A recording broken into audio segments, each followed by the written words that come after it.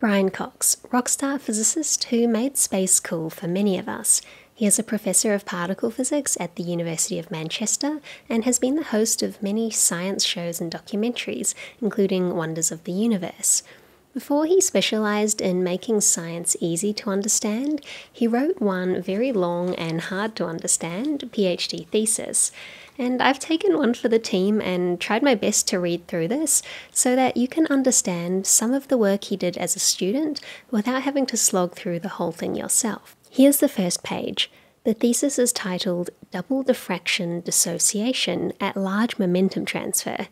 Don't worry if that means nothing to you because it meant nothing to me last week, but I think I've got a grip on it now.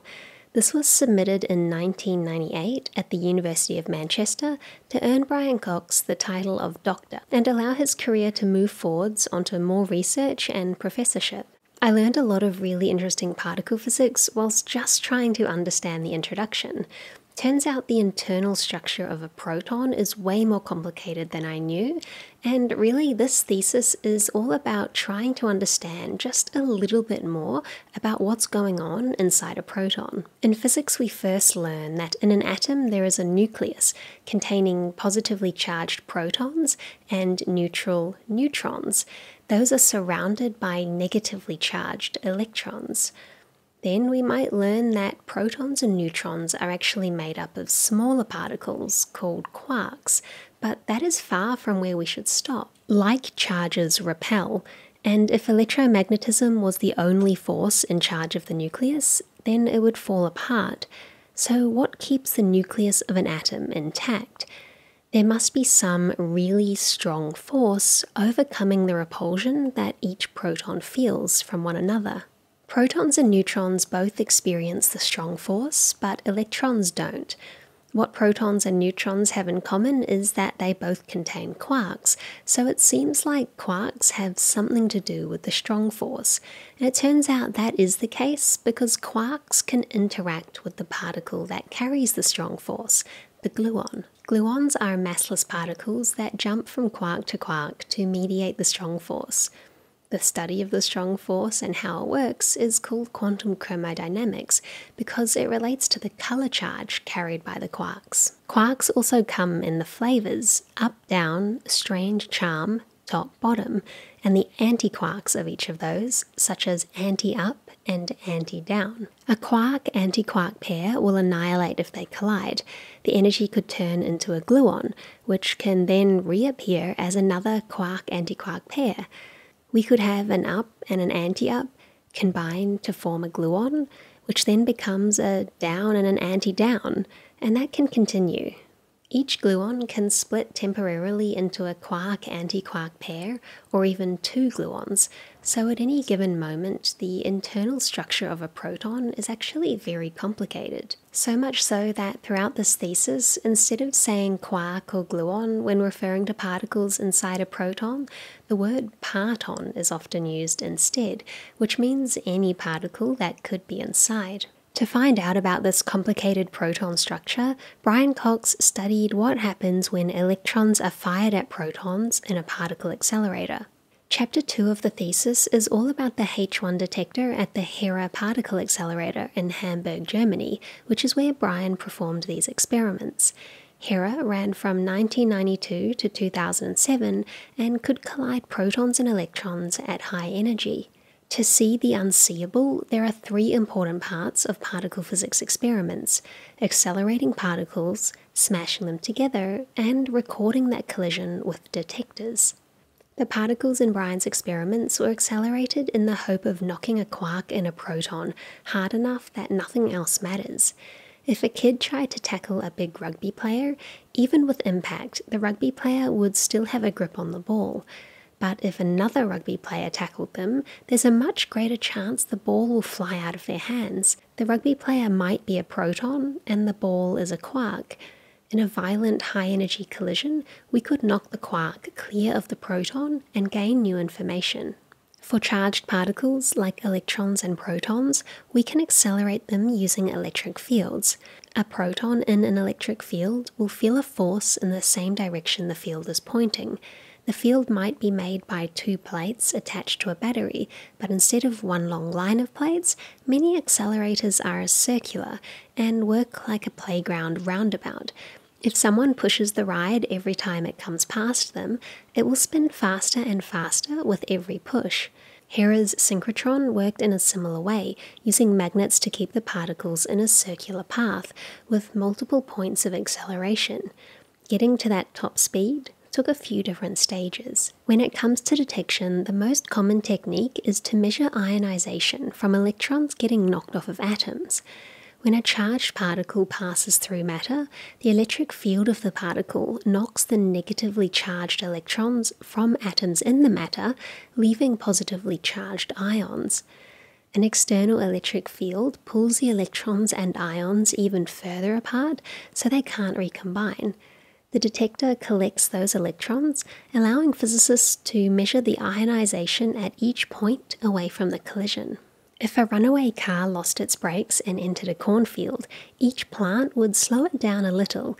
That's what a particle travelling through the detector is like. A fast and heavy car would take a lot longer to come to a stop, and so would a more energetic particle. Magnetic fields also cause charged particles to move in curved paths, with low energy particles curving more, so detectors can gather information about the path, charge, and energy of a particle. Chapter 3 of the thesis discusses more of the underlying theory motivating the research. It's very advanced and mathematical. He goes into more depth about quantum chromodynamics and how to reconcile it with other theories. There is mention of the pomeron, a mysterious virtual particle. Where the gluon carries the strong force between quarks, the pomeron is thought to carry the strong force between protons. Chapter 4 shows the results of some experiments and makes mention of observed jets. Jets are actually pretty cool and weird. Turns out that quarks can't exist on their own once they've been knocked out of the proton. This rubber band represents the strong force connecting two quarks. When the two ends are close, there is little force, but when the ends are separated, the force increases. Think of the rubber band stretching as a quark and antiquark moving away from each other after a collision. As the rubber band becomes tighter, its energy increases until it snaps. The same concept applies to quarks and antiquarks. As they move apart, the strong force between them grows stronger until it becomes too intense for the available space to contain. The energy at this breaking point transforms it into a new quark antiquark pair. Now there are two quark antiquark pairs, the original pair still moving apart, and the newly created one. When it comes to rubber bands, the process ends at this point, but with quarks, it's just the beginning. The original pair and the newly created pair continue to move away from each other, and this process repeats, converting energy into the mass of new particles until the adjacent pairs are no longer moving away. Then the quark antiquark pairs join to form mesons that travel in a straight line along the original direction. Mesons are small particles made up of one quark and one antiquark. Examples include the pion and kaon. In this wild process, quarks and gluons have become a jet of mesons. Brian compares the energy distributions of observed jets to simulations. He can't draw any statistically significant conclusions from these first experiments because he encountered many difficulties, including that some parts of jets fell outside the detector. He also had high uncertainties in identifying some jets. These difficulties led him to think up a new approach for the next chapters. Chapter 5 is where the name of the thesis comes from double diffraction dissociation at large momentum transfer. Let's break down the title. Dissociation refers to a system of particles breaking apart into two or more separate final states after a collision. Diffraction means the particles are scattered. Double means we've got two separate systems in the final state. And large momentum transfer, written like this, just means that a large amount of momentum is transferred from the incident particles to the scattered ones. The example studied throughout this work is a high energy photon the basic unit of light, interacting with a proton and producing two jets, call them X and Y, in the final state. X is the backward jet from the photon side, and Y is the forward jet from the proton side. The new focus here and in Chapter 6 is in measuring a double dissociation differential cross section. A cross section is a measure of the size of the interaction area between two particles in a collision. It's like a probability that the interaction will occur.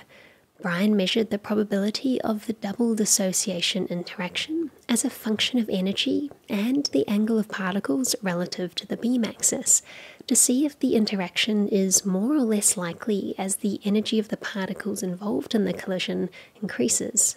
In the summary, we can see that Brian Cox has compared the cross section results to a perturbative quantum chromodynamics model and found that it was consistent with a colorless object, the theorized Pomeron, being exchanged in the interaction. The results were not conclusive enough to say for sure, but that finding was still one of the main contributions of the thesis.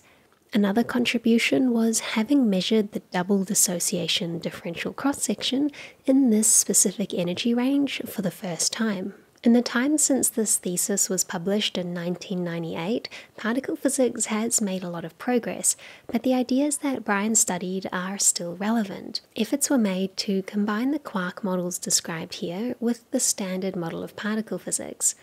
The standard model does not include a Pomeron, so with our current understanding, whilst it was a useful mathematical object, the Pomeron is not a real particle, in the sense that it is not detectable. Interestingly though, since modern string theory arose out of trying to explain the results of scattering experiments involving particles with two or more quarks, the mathematics of the Pomeron has gained a new use in string theory and has lived to see another day. You might associate Brian Cox more with the study of space than with particles, but astrophysics and cosmology stand hand in hand with particle physics. Many of the particles studied in colliders were only present in the universe during the earliest moments after the Big Bang. At that time, the universe was very hot, and particles were moving extremely quickly with a lot of energy.